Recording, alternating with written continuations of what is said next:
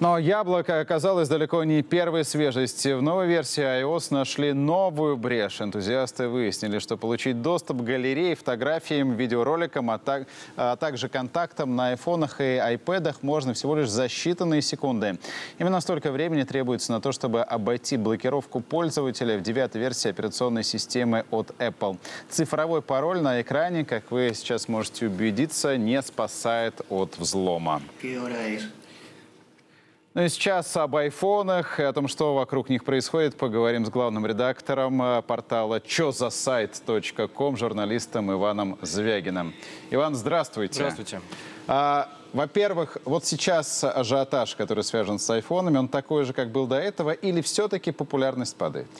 Ну, постепенно, конечно. Это уже там не, не настолько длинная очередь, как было там, несколько лет назад, но тем не менее они есть. Э, мне на самом деле утром звонили, по-моему, даже от вас и говорили, что ажиотаж э, очень сильно снизился. А сейчас мы видим, что все-таки очереди есть. Там, конечно, нет палаток, как бы это было когда-то, но тем не менее ажиотаж есть. Вот здесь у нас как раз будет идти этот ролик, э, где энтузиасты взламывают iPhone, девятую версию.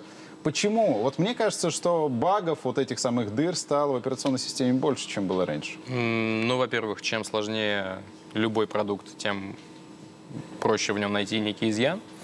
А, iOS 9 стало сложнее, там появилось, э, появились, во-первых, новые функции, связанные с этим 3D-тачем, распознающим э, варианты нажатия на экран. Но сильнее ты нажал или слабее? Да, да, да, я имею вот, вот это в виду. Э, ну, то есть это новая версия операционной системы, она еще в какой-то степени сырая. Э, вот, к сожалению, в последние годы такая тенденция. На рынок выпускаются достаточно сырые продукты, которые буквально на пользователях обкатываются.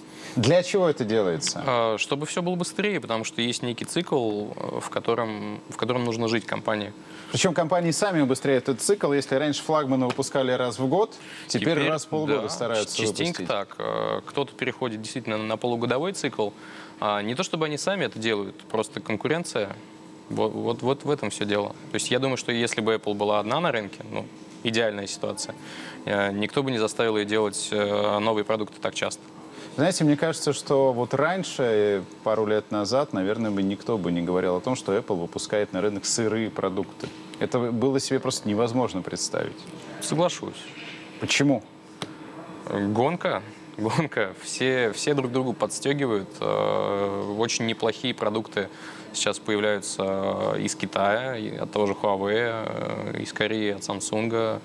Э, все стараются сделать продукты получше, то есть постепенно э, Азия учится и, и делает очень конкурентоспособный продукт. А мне кажется, что это связано не только с гонкой, про которую вы говорите, mm-hmm. но и с тем, что нету Стива Джобса. Да вот, ну, может быть, отчасти, но на самом деле я так не думаю. Э, почему-то вот после презентации все как с цепи сорвались, и все говорили, что Стив Джобс этого бы не допустил. Да кто его знает? То есть нет же сослагательного наклонения в истории. Мы не можем знать, чего бы он допустил, а чего Но нет. Те, тем не менее, мы можем сравнивать, что было при нем и что стало после него. Э, ну, так или иначе, компания развивается. Конечно, Тим Кук и Джонни Айв это, это не Стив Джобс, но они таки стояли э, у истоков, э, так или иначе. Они придерживаются вот главной базовой такой позиции Apple – взять то, что уже имеется на рынке, и сделать еще лучше. По-моему, пока у них это получается. А вы сказали, что они не Стив Джоб, э, Джобс. В чем разница? А, ну, во-первых, представьте, вы основали компанию, ее развили, там был кризис, вас оттуда уволили, снова позвали. Это, наверное, заставляет чувствовать какую-то дополнительную ответственность и дает какие-то просто стимулы. А когда ну, не то, чтобы вас взяли на работу, конечно, там у всех своя долгая история в компании. Эм, но когда у вас есть некий просто продукт, а не детище, которое нужно развивать, э, это, наверное, другой подход просто немножко, менее персонализированный, что ли. А нет ощущения, что это почивание на лаврах? Что Apple наплевать, вы все равно будете покупать наши продукты? Ну, в какой-то степени это же э, не желание облагодетельствовать человечество, это просто бизнес для всех.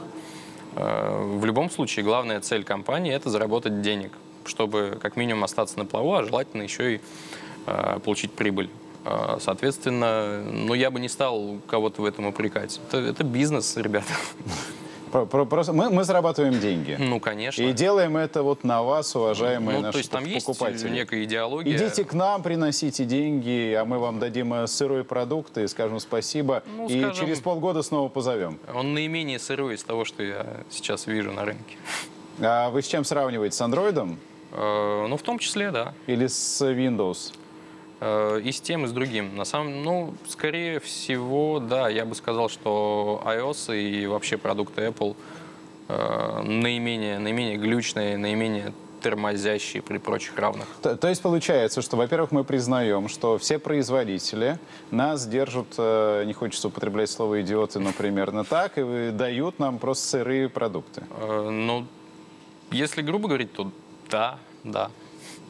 А Apple? Раньше все гнались э, за тем, что делает Apple. Теперь Apple стала подражать.